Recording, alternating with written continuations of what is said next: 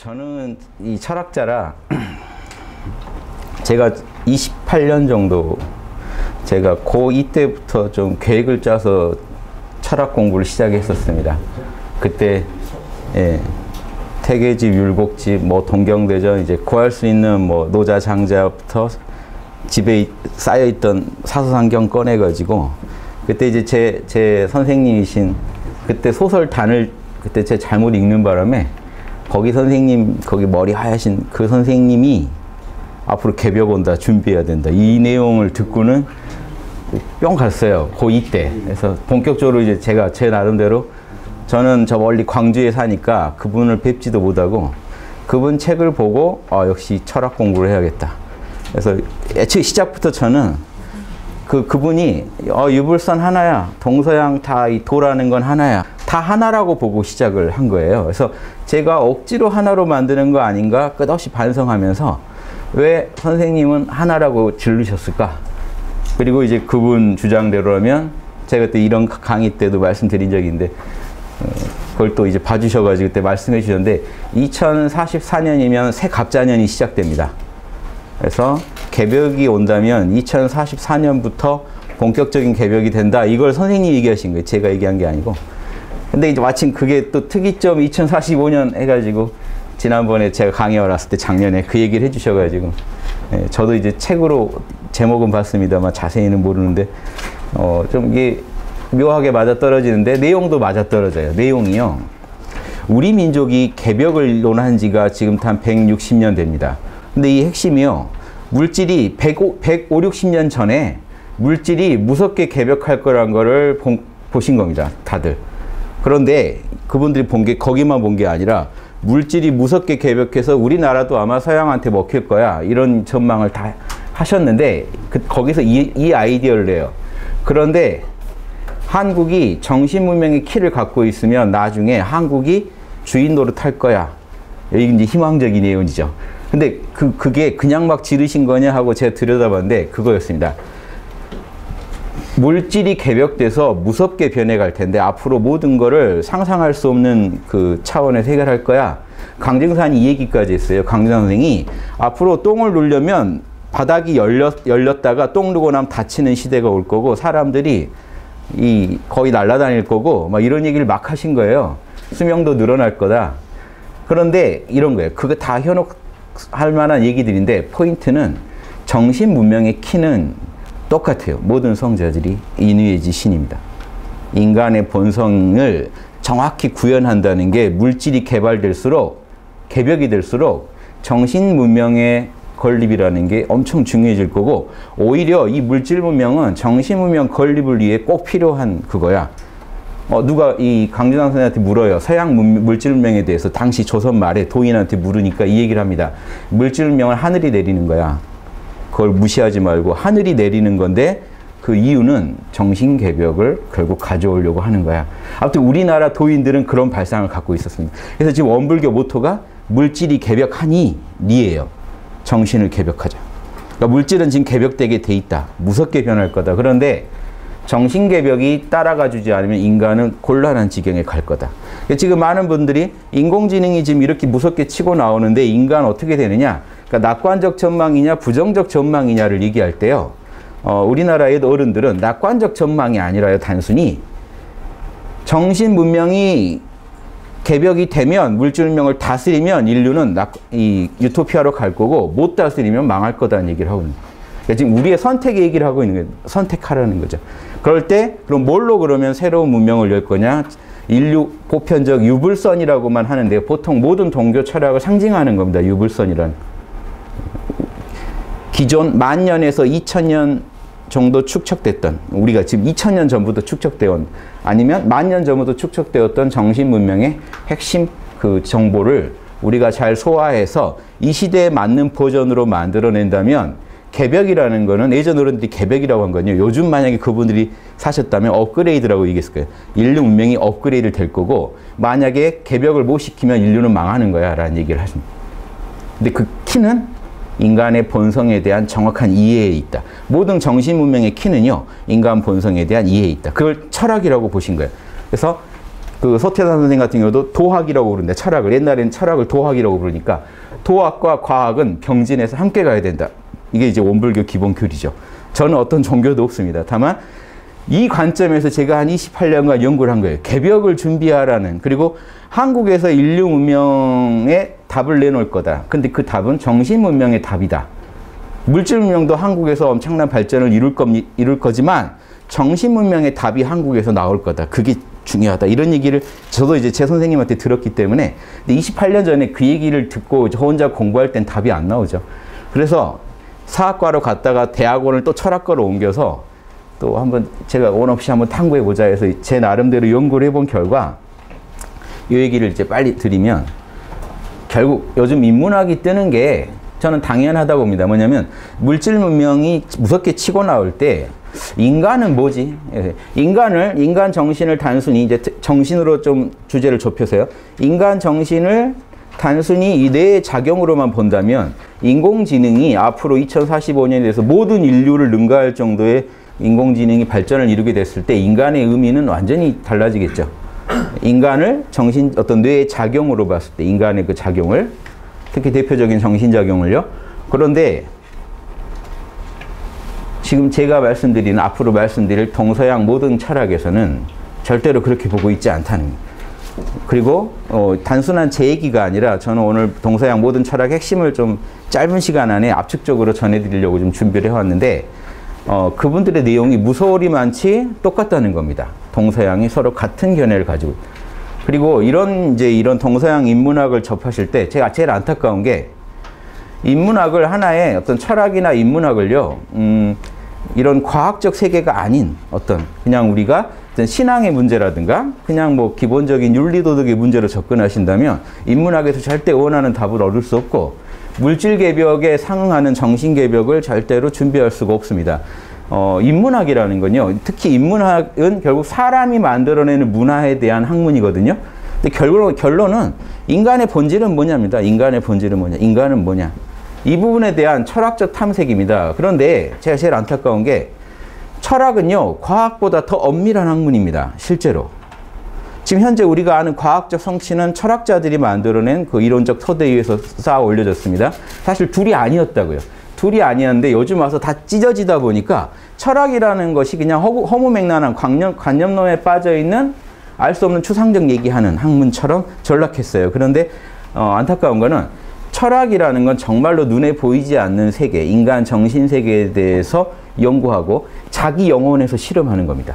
자기 영혼에서 실험해서 진짜로 인간이 이게 옳은 길이라면 내가 그렇게 온몸을 바쳐 생을 걸고 살아보자. 그 진짜로 그게 선인지, 그게 올바른 법칙인지 자기 생을 걸고 실험한 분들의 어떤 그 연구기입니다. 연구 논문이라고 봐주셔야만 이런 경전들, 고전들을 제대로 이해할 수가 있습니다.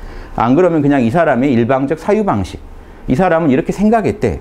이렇게 접근해 버리시면요. 철학이 감도 못 잡습니다. 과학, 최근에 어떤 분이 그런 얘기 하더라고요. 과학이라는 거는 단순한 지식이 아니라 학문적 태도다. 자명한 걸 받아들이는. 철학이 그 성구입니다, 사실은. 자명하면 받아들이고요. 소크라테스한테요, 친구가 가서 도망가자고 할 때 이 얘기를 합니다. 나 알지? 자명하지 않으면 내 생을 걸고 따르지 않는 거. 너가 날 탈옥시키고 싶으면 탈옥하자는 논리가 자명한 것에 대해서 날 설득시켜봐. 그러면 설득 못 시킴. 친구도 인정해요. 졌다. 니, 니, 니 뜻대로 하세요. 난 자명하면 따르고 옳지 않으면 목숨 걸고 저항한다는 거 알지? 생을 걸고 진리를 따른 모습을 소크라테스가 보여줬기 때문에 철학이라는 학문이 서양에 자리 잡은 겁니다. 과학도 다 그 하나의 원리입니다. 그래서 철학과 과학이 원래 하나로 돌아가면서 서로 역할을 해줬는데 최근에 철학이 역할을 못 해준 거예요. 지금 철학과 있는 다닌 분들한테 너 생을 걸고 어떤 게 진리인지 네 영혼에서 실험하면서 입증해 가고 있느냐. 그래서 인간의 영혼은 이렇게 살게 프로그램 돼 있어라고 실제 살아본 경험을 가지고 얘기할 수 있느냐. 이게 자명해. 내가 실험해봤어. 어, 임상실험 다 해봤어. 라고 말할 수 있느냐. 요게 안 된다면요. 사실 지금 철학과에서 다뤄지는 학문은 칸트가 뭐라고 했대, 해겔이 뭐라고 했대, 이런 그런 누구 고인들의 말을 정리해서 잘 엮어서 어, 우리가 알아보기 쉽게 학문화하는 예, 분과 학문의 하나가 돼버립니다. 근데 지금 제가 말씀, 지금부터 말씀드린 철학이라는 건 분과 학문 중에 하나가 아니라 어, 과학이라고 우리 옛날 그 도인들이요. 앞으로 과학 넘어서 도학, 철학이 어, 리드하는 시대가 올 거야라고 했을 때이 이 과학에는요 자연과학만 들어가는 게 아니라 인문과학까지 다 들어갑니다. 분과학문. 어느 한 과목을 정해서 그 안에서 인과 법칙을 탐구하는 학문은 과학이라고 불렀습니다. 원래 한문이요 과학이란 말이 백과지학에서 온 겁니다. 백과지학. 그러니까 우리 백과사전에 한 항목 차지할 정도면 다 과학이라고 본 거예요. 거기에 대항해서 도학, 철학이라고 말할 때는요 형이사학적 원리를 자신의 영혼에서 실험해가지고 목숨을 걸고 이게 자명한 진리야라고 말하면서 자기도 그 법칙대로 따라가는 삶을 살 때 우리가 도학을 연구한다라고 합니다. 그러니까 그 예전에요 조선시대 때 도학 공부한다고 하는데 입으로 이니에지 떠드는 건 도학자로 안 쳤어요. 목숨 걸어라 이거죠. 보여줘라 이거죠. 너가 인의예지에 의거해서 살아간다는 걸 보여줘라. 그래서 인간 영혼은 원래 이렇게 살게 프로그램 됐다는 거를 입증해 봐라라고 요구합니다. 그거를 지키면 도학이에요. 이게 이 정신이요 놀랍게도 서양 철학에 그대로 있습니다. 서양 철학자 중에 에픽테토스라고 지금 유명한 양반이 있는데 마르쿠스 아우렐리우스라는 황제가 사모했던 철학자입니다. 스토아파의 철학자인데 에픽테토스 노예였는데 철학자로서 황제의 존경을 받은 분인데 이분이 그래요. 그 논리학이나 배우고 있는 철학자들을 보면서 비웃으면서 철학자라는 거는 죽음 앞에서 안세가 안 변하면 철학자고 변하면 철학자 아니야. 간단해 이거. 그러니까 자기가 주장하는 이론대로 자기 영혼에서 실험해서 입증하면 철학자고 인간이 그렇게 살게 돼 있다는 걸 입증 못하면 철학자 아니야 이거죠. 말로 떠드는 것들은 철학자 아니야. 그러면 이제 이 제가 말씀드리려는 거 좀잘 거예요. 그래서 제가 지금 정신 문명의 건립의 핵심은 올바른 철학의 건립이 있고요. 지금 과학은 너무 잘하고 있습니다. 문제는 인류가 안타까워야 될 건 지금 철학의 문제입니다. 철학이. 철학이 그냥 어떤 신념, 신앙 체계가 아니라 내가 영혼에서 실험을 해봤는데 인간은 이렇게 살게 프로그램 돼 있습디다라는 말을 할 수 있는 그런 논문을 써내는 철학자들이 귀하고 그래서 우리는 최소한 2000년 동안 수많은 다양한 문명의 인간들한테 검증받은 고전을 가지고 연구를 해야 되는 이게, 이게 지금 과학계에서는 뉴턴의 논문이고 지금 우리가 다루려는 철학책들이요.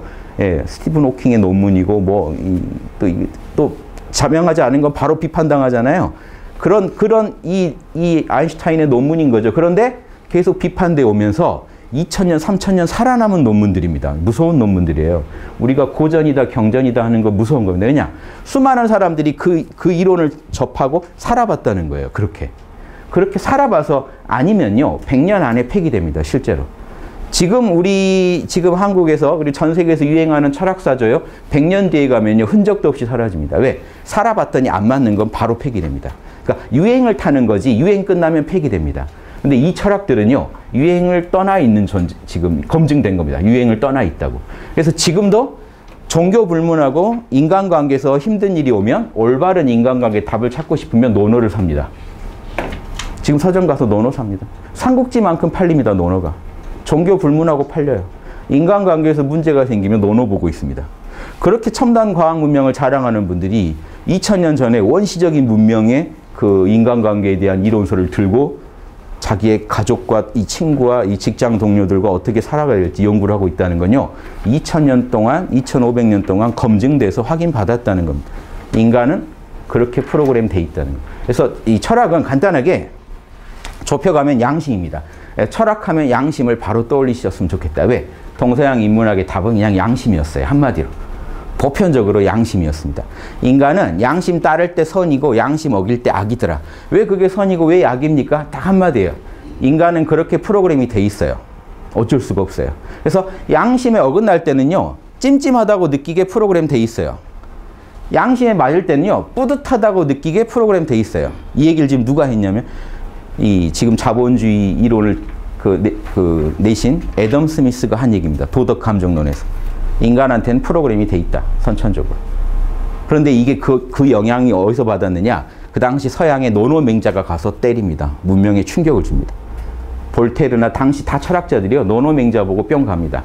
신을 등장시키지 않고도 인간이 이렇게 자명하고 합리적으로 철학적으로 살 수 있다니. 그게 영향을 다 줍니다. 애덤 스미스까지. 그래서 이 결국 이게 하나로 만나고 있는 거예요. 동서양 그때도 융합이 된 겁니다. 동양에선 동양대로 융합이 됐지만 선교사를 통해서 선교사가 동양 서적을 또 주역까지 다 들고 가서요. 서양 철학자들한테 번역까지 해서 건네줍니다. 그래서 라이프니츠가 주역을 보고 뿅 갑니다. 나의 이진법 체계랑 너무 똑같다. 이미 있으셨는데 똑같다라고 해서 주역회를 가지고 이진법 분석한 게 지금 남아 있습니다. 그 수리 분석한 게요. 주역 학자들이 본 거랑 똑같이 분석. 아주 재밌습니다. 그래서 동양의 태극이라는 게 내가 말한 단자랑 똑같다. 이 얘기를 라이프니츠가 선교사 친구한테 받은 어, 중국 서적을 가지고 이미 그때 얘기합니다. 그런데 서로 이렇게 막연히 똑같다가 아니라 제가 연구해 본 결과 모두가 다 양심을 연구하고 있더라는 양심. 음, 그래서 지금 우리가 살아가고 있는 민주주의의 초석도요, 사회계약론이나 루소의 모든 바탕을 양심입니다. 그때 다 이미 동서양 문명이 한번 만나서 민주주의나 이런 이론에까지 이미 영향이 갑니다. 서양 민주주의 이론에도요, 양심이 제일 중요하다는 이론이 딱 박힙니다. 루소는 양심을 일반 의지라고 부르죠. 보편 의지. 그러니까 인간이면 똑같이 갖고 있는 프로그램에 대한 접근입니다. 철학자들이 이걸 접근합니다. 과학은 현상계 이, 이 현상계에 존재하는 만물의 온갖 존재들의 인과 법칙을 탐구한다면요. 철학은 지금 이렇게 보시면 됩니다. 인간이 어떤 것에 선이라고 반응하고 어떤 것에 악이라고 반응하게 프로그램 돼 있는가에 대한 연구입니다. 그런데 이 부분에 대해서 철학자가 약해지면 어떻게 되냐면요. 그 문명은요. 선악의 방향을 잃어버려요. 음. 지식은 엄청나지고 물질적 발전 엄청나지는데 선악에 대한 감각을 잃어버립니다. 그래서 예전 어른들이 정신 문명이 물질명이 앞으로 무섭게 농사 짓고 살던 시대랑은 다르게 무섭게 치고 나갈 텐데 그러면 거기에 걸맞게 정신 문명도 무섭게 치고 나가느냐 이거죠. 지금 어떤 시대보다 물질이 발전할 텐데 그럼 어떤 시대보다 더 많은 다수가 인간의 본성, 본래의 프로그램을 알고 자기 양심에 자명한 건 하고 간단하게 자기 양심에 찜찜한 건 안 하는 문명을 만들 수 있느냐. 이게 지금 앞으로도 화두입니다. 인공지능이 지금 발전한다. 뭐 날마다 막 겁나는 얘기가 들려옵니다. 오늘 또 제가 본 게 알파고 제로가 알파고를 이겼다. 인간한테 배, 바둑을 배우지 않고도 스스로 학습해서 이겼다. 어, 이런 말에 어, 등에 막 식은땀 나고 이럴 게 아니라 인간과 인간의 본질이 뭔지 정확히 하면 인간과 인공지능의 차이도 우리가 규정할 수 있고 저는 인공지능 전문가가 아닙니다만 인간 본질에 대해서는 한 28년 연구해 본 그게 있어서 제가 연구했던 자료들 그리고 제가 제, 제 영혼에서 실험해 보고 이건 자명합니다. 어, 누구나 자명할 겁니다. 라고 자신할 만한 내용들만 가지고 한번 엮어서 말씀드리겠습니다. 그런데 그 먼저 양심을 따르는 삶이 일문학의 결국 결론이었는데요. 인간의 본질이 뭐냐 했을 때 모든 성인들이 철인들이 간단하게 이 대답을 해줍니다. 딱 핵심이에요. 어, 논어에 보면요. 공자가 그 제자가 물어봅니다. 선생님 평생 추구한 학문의 그거를 한 단어로 얘기해 주세요. 그러니까 용서할 서자를 서 얘기합니다. 근데 서가 뭡니까? 하니까 내가 당해서 싫은 일은 남한테 하지 마라. 네가 당하기 싫은 일은 남한테 하지 마라. 인간은 자 이게 왜 도덕률이 될까요? 최고의 도덕률입니다. 논어에서 저 한마디면 논어가 끝납니다. 저걸 이해하시면 논어를 다 이해하신 거예요. 공자는 평생 저것만 추구하신 거예요. 그냥. 지식이 되려고 했던 것도 아니고 그냥 내 양심에 충실하게 사는 사람이 되려고 했던 겁니다. 그래서 나는 평생 이리관지 이것만 하나만 팠다라고 또 다른 논어에서 얘기합니다. 논어의 구절에서. 나 이것만 팠다. 뭘 파셨나요? 내가 당하기 싫은 일은 남한테 안 했다. 왜? 저게 인간의 본질이라는 거예요. 인간의 본질은 어, 나와 남을 둘, 풀어서 얘기하면 나와 남을 둘러보지 않고 사랑하면서 내가 당해서 싫은 일은 남한테 참아 못하게 프로그램 돼 있다는 거예요. 저걸 어기지만 않으면 사람이라고 할 수 있고 이걸 어기면 금수랑 다를 바가 없다. 이게 이제 철학자의 인식입니다. 자, 예수님 성경에서요. 모든 율법과 예언서의 골자니라 이렇게 세게 지르신 게 저거밖에 없습니다. 딱 지르면서 뭐라고 했나요? 너가 대접받고 싶은 대로 남한테 해줘라. 동전의 앞뒤입니다. 너가 받고 싶은 대로 먼저 해줘라. 공자님은 너가 당하기 싫은 일을 하지 마라. 근데요, 사실은 논어, 논어나 다른 중용 보시면요, 요, 요런 내용도 나옵니다. 대학에도. 공자도 얘기했어요. 근데 공자는 저걸 더 강조했어요. 예수님은 이쪽을 더 강조했어요. 그러니까 둘다 똑같이 이, 그 동전의 앞뒤라는 걸 알고 계십니다. 한쪽만 일부러 쓰신 건 아니고, 다만 어느, 저, 어느 부분을 더 강조했는가 해서 이렇게 좀 약간 맛이 다른. 그리고 서양 철학에서도 어, 소크라테스의 글에도요. 내가 당하기 싫은 일은 남한테 하지 마. 그래서 탈옥하자는 친구한테 그렇게 얘기합니다. 내가 억울한 일 당했다고 남한테 억울함 끼칠 수는 없다. 따라서 나는 내가 탈옥함으로써 내 가족과 친지들한테 죄를 준, 피해를 주고 죄를 짓는다면 여기서 죽겠다라고 그게 핵심 내용입니다. 그게 자명하다. 자, 똑같이 부처님도 중생 마음은 다 하나니까 인간의 본질은요 나와 남을 둘러보지 않고 그래서 내가 당하기 싫은 일은 남한테 하지 않는 게 자비다라고 주장하신 인, 사랑, 자비가 지금 다 하나입니다 설명이 그리고 칸트가 이거를 철학자답게 멋있게 어렵게 정리했어요 너의 의지의 준칙이 보편적 입법 원리에 타당하게 행동하라 어렵죠 자, 무슨 말입니까? 너가 어떤 행동을 할 때 원칙이 있을 거 아니냐 이거죠. 너의 행동의 원칙이 모두가 해도 좋은 보편적 입법화할 수 있는 원리면 하고 아니면 하지 말아. 그러니까 내가 도둑질 할 때, 내가 도둑질 할 때요, 남도 다 해도 이거 나는 허용할 수 있다라는 짓을 하라는 거죠. 사실은 그래서 이거는 황금률의 어떤 변형이라고 그 학자들이 얘기했습니다. 그래서 결국 내용은 하나입니다. 그래서 이게 특히나 칸트 말고요, 이분들은요, 칼 야스퍼스가 추계 시대라고 부른 때 있습니다. 그때가 인간이 한번 업그레이드하던 시절입니다. 인간이 발전하면서 문명이 발전하면서 이제 막 문명이 충돌하면서요. 보편적 도덕률이 등장해야 되는 단순히 부족 간의 삶으로 영이 되는 게 아니고 보편적 도덕률이 등장해야 할 시기가 인류가 2000년 전후로 맞이합니다. 전 세계적으로. 그런데 신기하게 전 세계 동시다발적으로요. 성인들, 철인들이 출연해서 똑같은 소리만 했습니다. 이분들이 추계 시대 때 등장했던 4대 성인들이죠. 다 똑같은 얘기만 했습니다. 너가 당해서 싫은 건 남한테 하지 마라. 그래서 인류가 방향을 잡은 겁니다. 어떻게 살아야 되는 예수님 서로 사랑하라. 어떻게 사랑합니까? 너가 받고 싶은 거 먼저 해줘라. 이게 인류의 도덕률은 이게 답니다. 지금 현재 법과 제도예요. 실정법의 원리도 이겁니다. 이 양심법이요. 모든 실정법의 근원입니다. 도둑한테요. 왜 이 형을 때립니까? 왜 살인자한테는 이런 형벌을 때립니까? 근거가 없습니다. 사실. 근거는 뭐냐 이거예요 결국 인간들이 이 양심법을 가지고 감각을 재는 겁니다.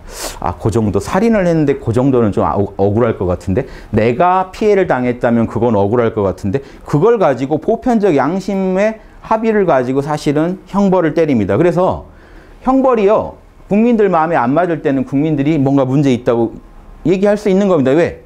실정법 전문가는 지금 법학자들이시지만 양심법 전문가거든요. 우리들도.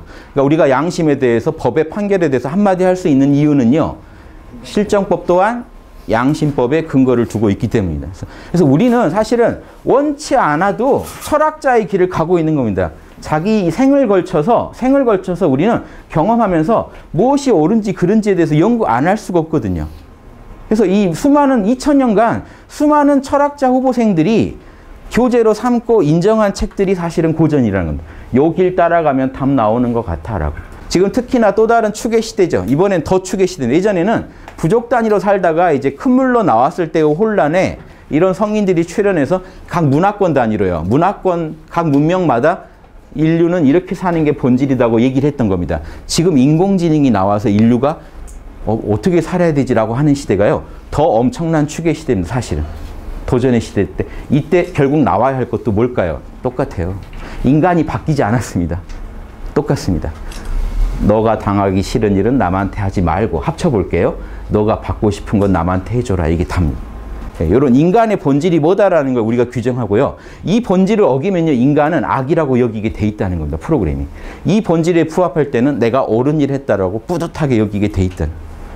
이걸 간단하게 맹자가 이렇게 얘기합니다. 이걸 어기면 호연지기가 위축되고 양심을 지키면 가슴이 뿌듯해지면서 몸에 호연지기가 쫙 펴진다.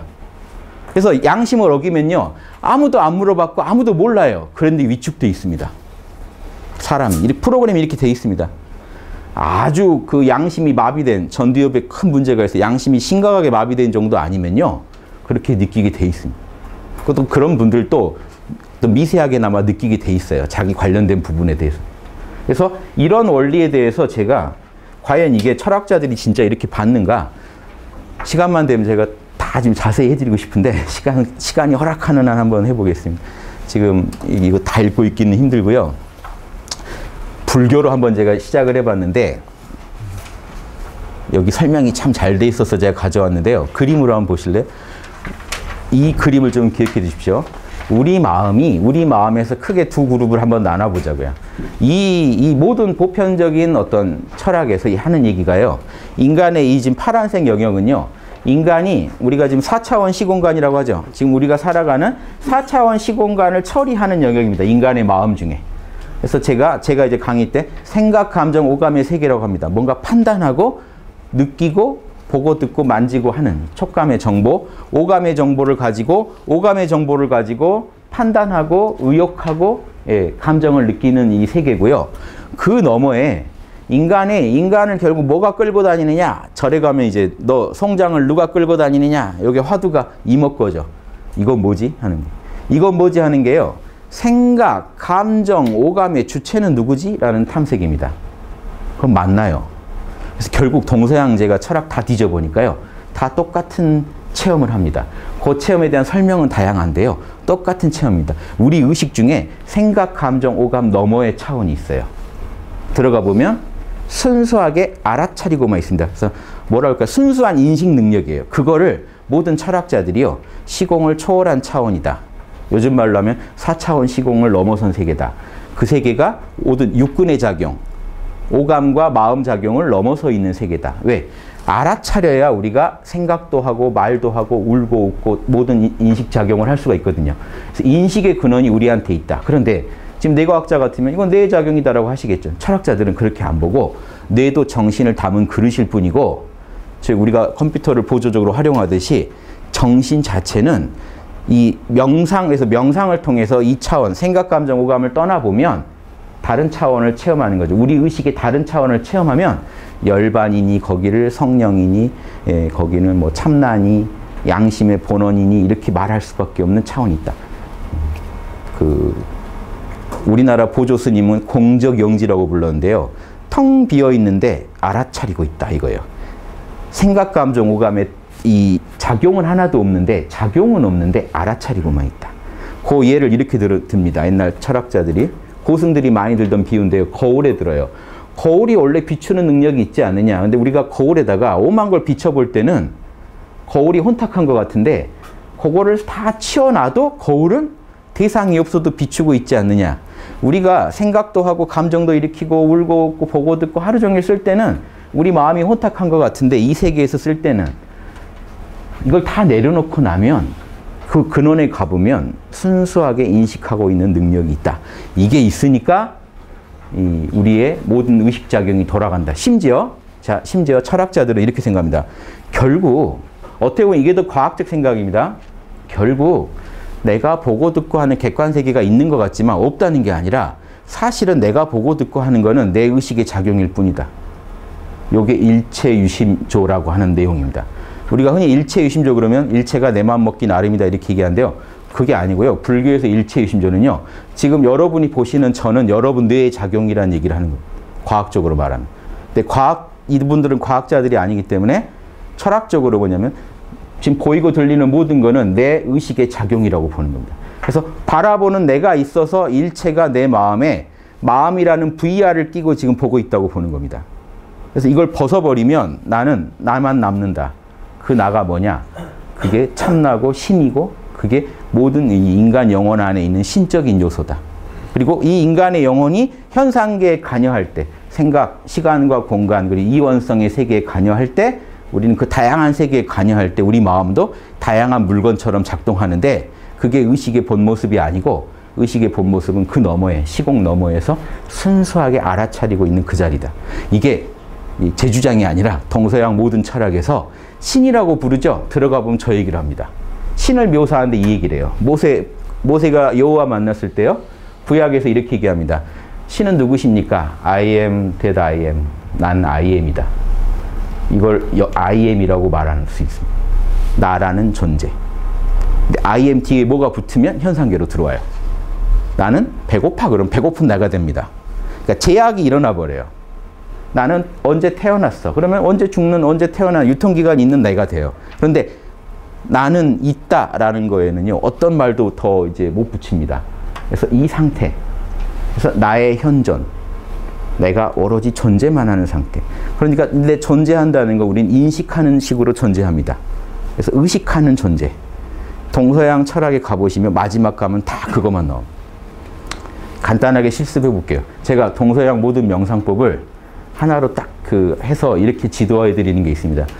제가 동서양 명상법 책 다 연구해 봤고 제가 책도 내는 사람인데요. 이것만 아시면 그 다 원리가 여기서 나갑니다. 지금 눈 감으시고요.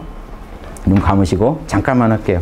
어렵지 않습니다. 아무나 할 수 있고 언제나 할 수 있습니다. 눈 감으시고 자 지금 몇 시인지 모른다 하시고요. 모른다라고 판단 중지만 선언하시면 됩니다. 아는지 모르는지도 모른다. 여기가 어딘지 모르겠다.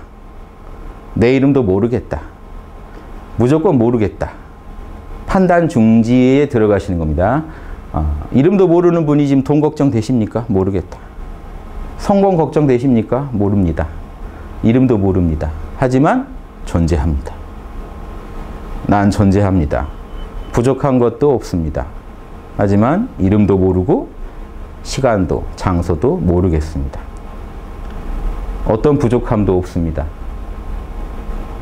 존재하는 것으로 만족합니다. 시간도 모르기 때문에 나이도 모르겠습니다. 오직 알아차릴 뿐이고 존재할 뿐입니다.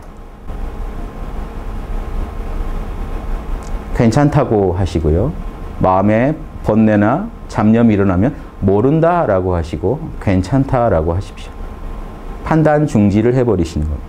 끌려가지 마시고 잡념을 없애야 된다는 말도 하지 마십시오. 그냥 모른다라고 하십시오. 모를 뿐이다. 모르겠다. 존재할 뿐이다. 그 존재가 알아차림이라는 것도 느껴보십시오. 여러분이 존재한다는 그 느낌에만 주목하시고 어떤 생각도 모른다라고 하십시오.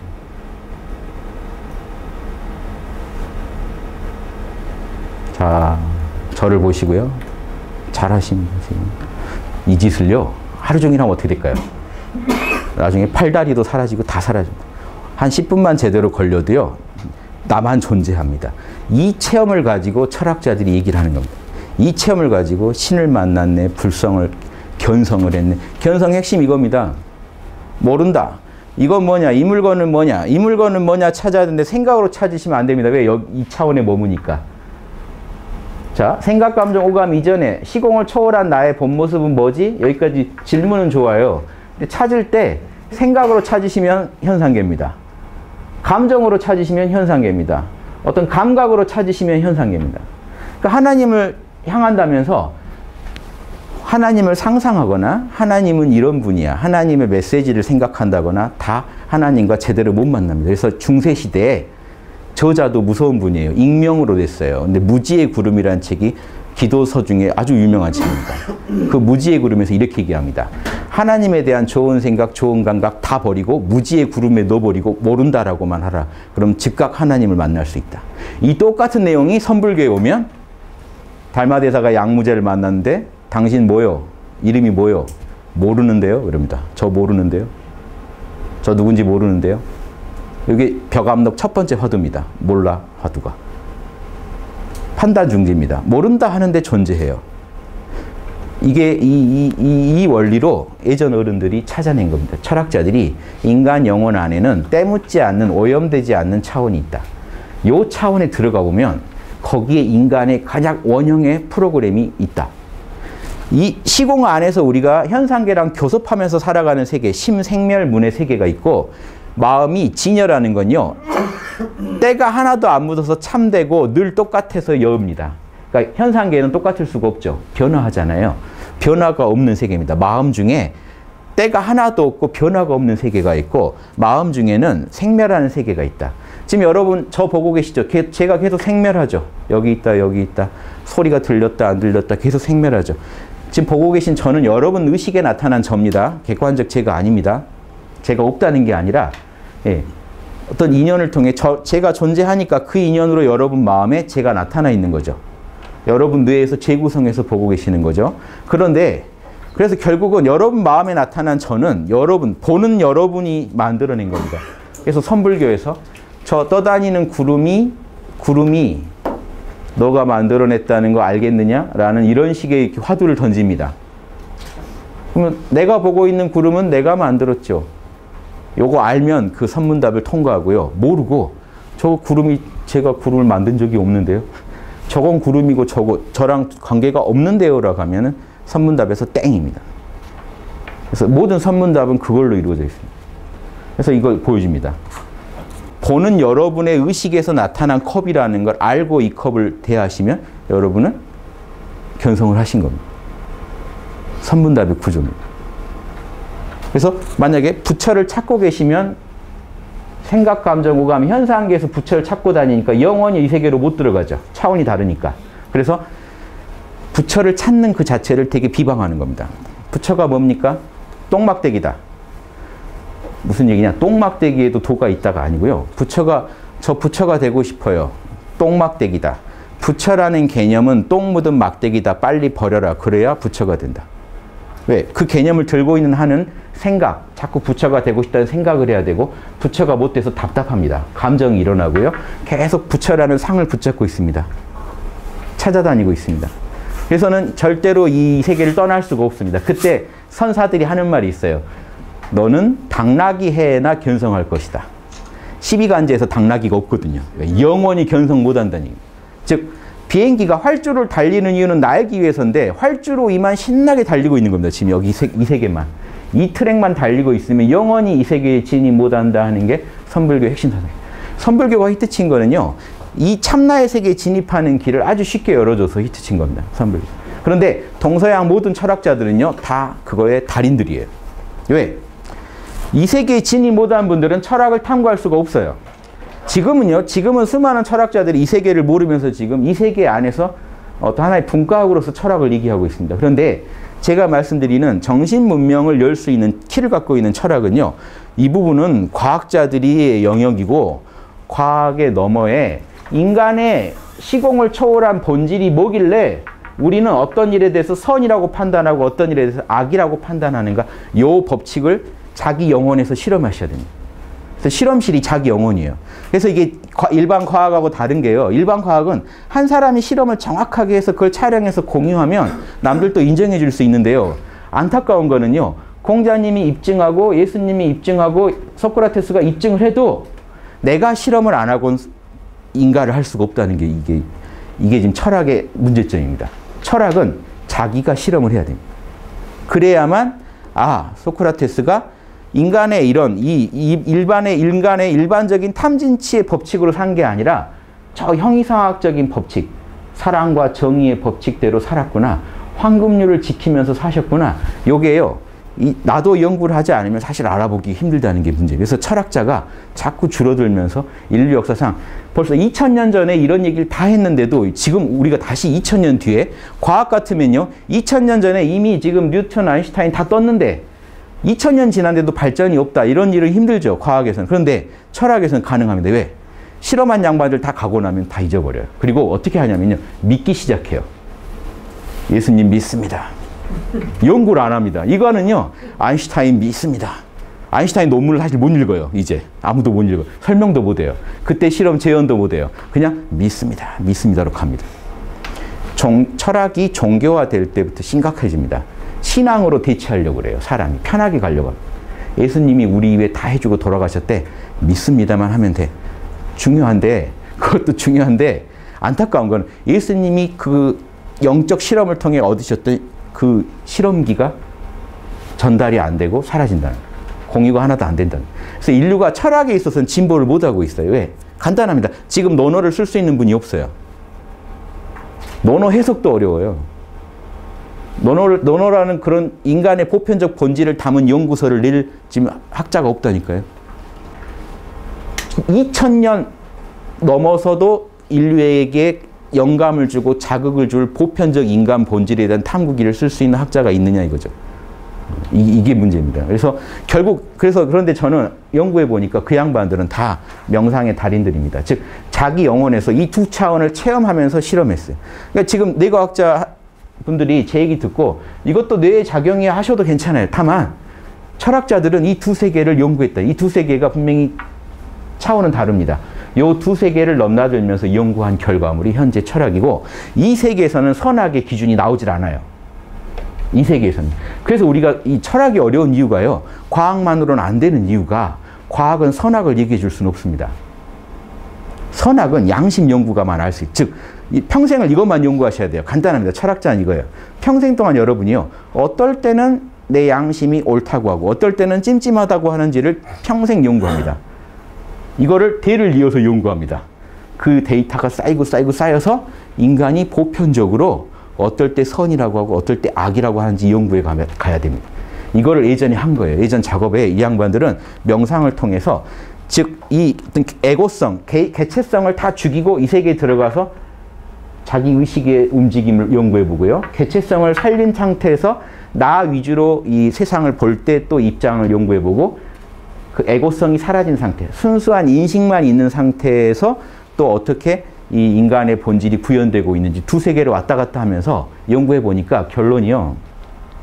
이겁니다. 이 그림이 제일 좋아요. 이게 대승기신론에 나온 그림입니다.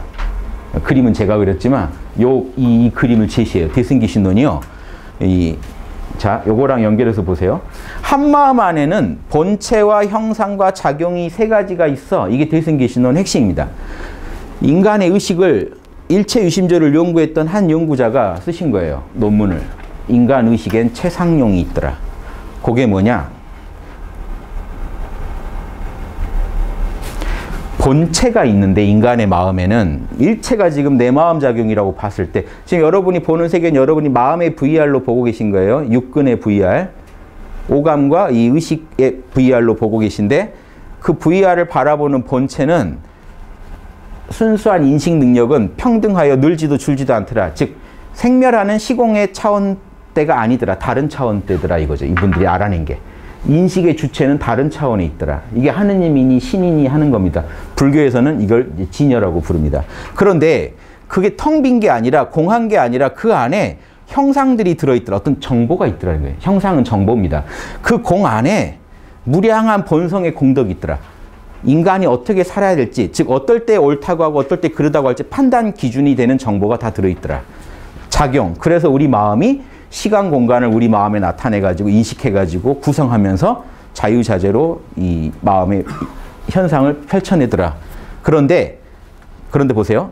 선한 인과를 낳는다는 건요. 어떤 게 선인지 악인지는 즉 이 형상의 차원에서 이미 프로그램 된 걸 가지고 판단하는 거죠.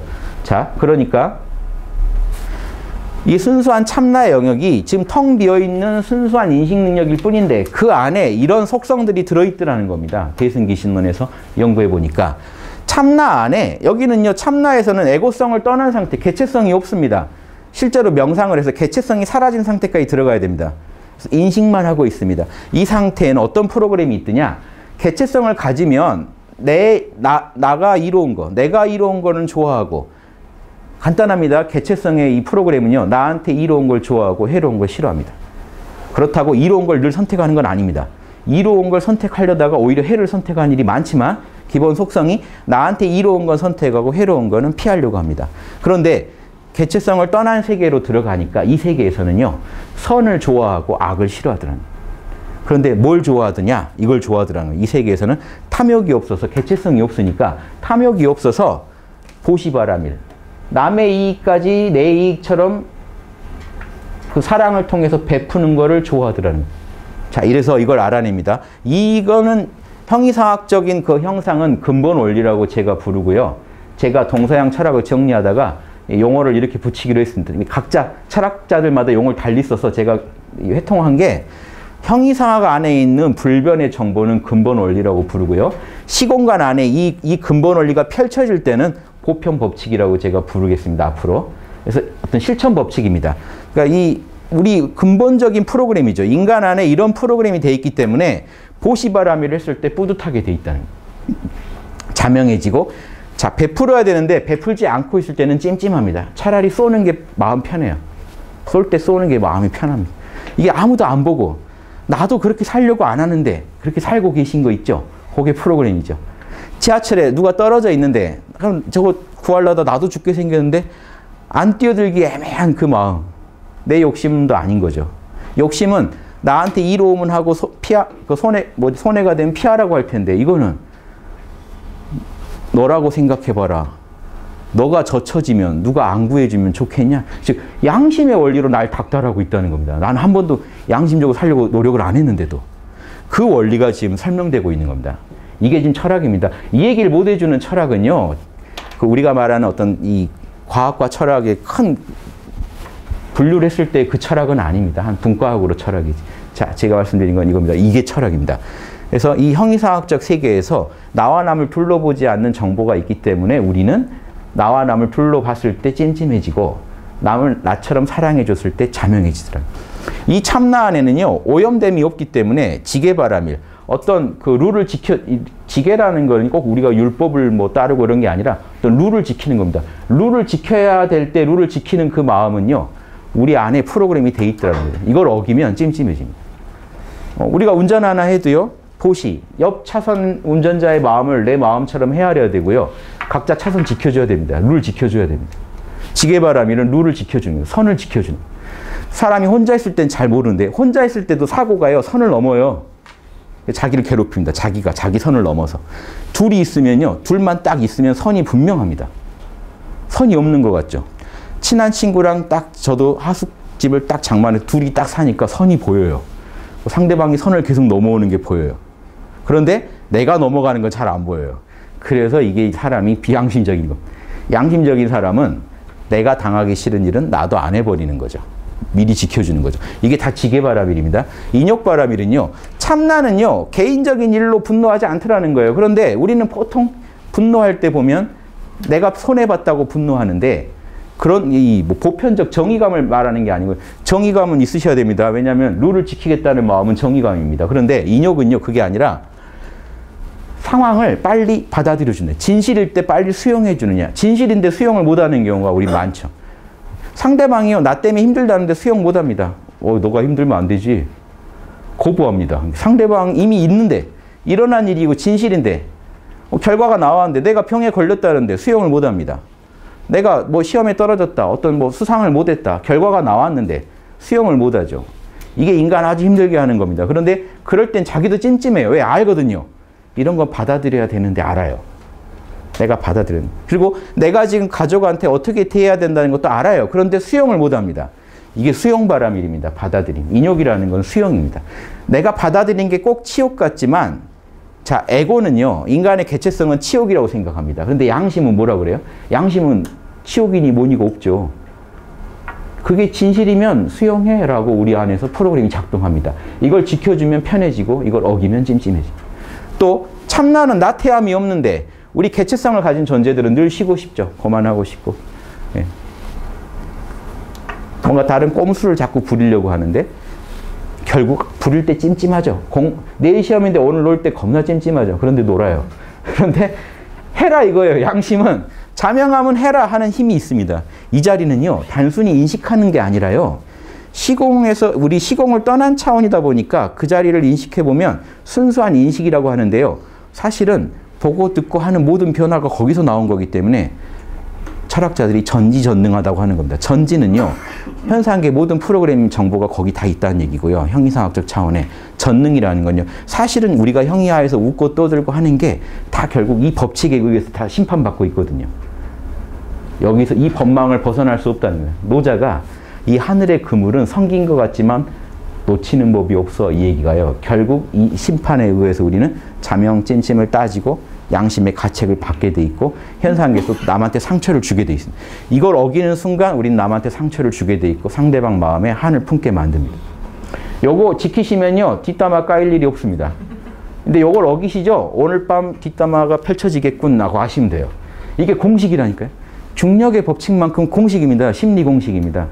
심리학에서 연구할 수 있는 것도 아니에요. 왜냐하면 마음의 현상에서 나타나는 인과법이 아니에요. 요거는 본래 어떻게 생겨 먹었느냐에 대한 연구이기 때문에 이건 철학이에요. 인간 마음이 어떨 때 기분 좋고 어떨 때 나쁘더라를 데이터를 가지고 모아서 연구하면 그거는 심리학이라 하나의 과학입니다. 분과학인데 이건 그게 아니고 현상계에서 왜 찜찜한지 알 수 없는 겁니다. 그런데 형이사학적으로 파고 들어가 봤더니 형이사학의 세계에서 나태가 없더라는 겁니다. 그러니까 정진 안 하면 찜찜하게 돼 있더라는 노력 안 하면. 이 상태에서는 고요해서 시공을 떠나 있으니 고요하죠. 그러니까 우리가 명상을 통해서 선정을 이루면 자명해지고 마음이 산란할 때는 찜찜하다고 느끼게 프로그램이 돼 있다는 또 똑같이 이 상태에서는 모든 우주적 정보에 대해서 열려 있기 때문에 반야바라밀 올바른 판단을 했을 때는요 자명하고요 근거가 없는 거를 내가 인정했을 때는 찜찜한 겁니다. 아, 이거 아닌 것 같은데. 아무리 논리적으로는 그게 답 같아도 찜찜하실 때 있어요. 나중에 보면 분명히 문제가 있습니다. 우리 에고의 의식은 이해를 못해도 저 내면에서요. 아니라고 합니다. 놀라운 게요. 여러분 사실 학문을 하신다는 게 지금 책을 읽어주고 계시는 거예요. 여러분 마음에. 맞다 틀리다 여러분이 결정하는 게 아닙니다. 뭔 얘기냐면 이런 정보를 보셔도요. 과학책을 보셔도 연구를 하셔도 이 참나가 참나에서요. 자명해라고 안 해주면요. 여러분은 끙끙 앓게 돼 있어요. 또 또 먼 길 떠나셔야만 해요. 자료를 찾아서. 결국 왜냐하면 내가 내 마음을 결정한다면요. 이걸 어떤 자료를 보여줬어. 내가 봤을 때 이게 최선이야라고 했을 때 만족을 해야 되거든요. 아니라고 합니다. 찜찜. 뭔가 부족해. 2% 부족해. 내면에서 딱 신호가 옵니다. 사실 우리 평생 공부한다는 게요.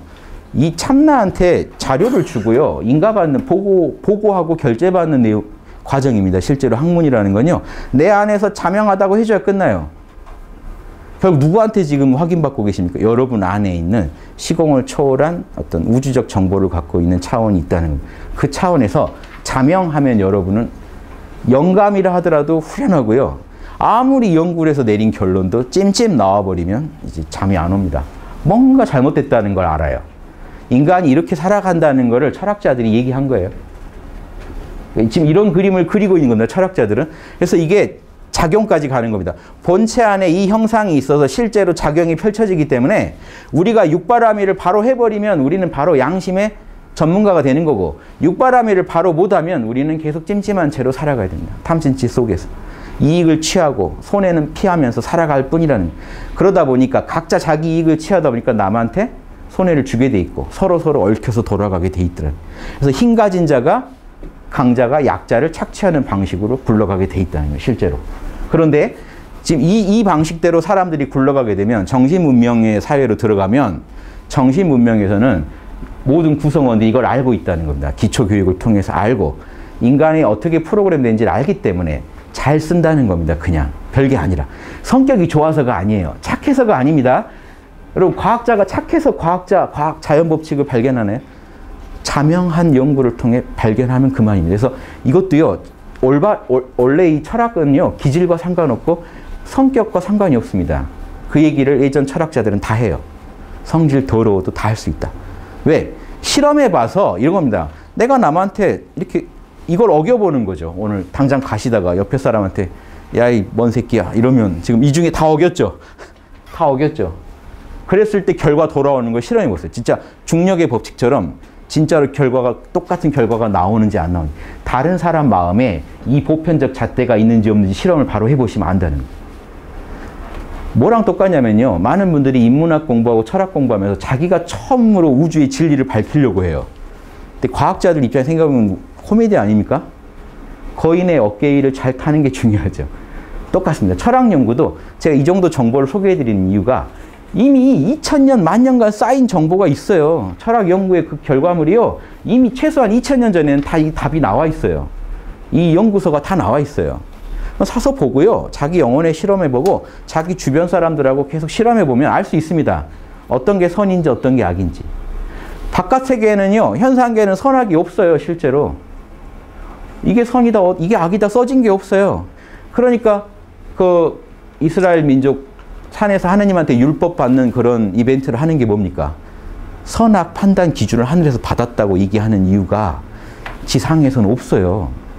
억울한 사람이 있고 또 그 가해자가 있고 피해자가 있는데도 어떤 게 선이고 어떤 게 악인지 어디 써 있질 않아요. 그러니까 제품은 있는데 인간이란 제품은 우주가 냈는데 매뉴얼을 안 줬어요.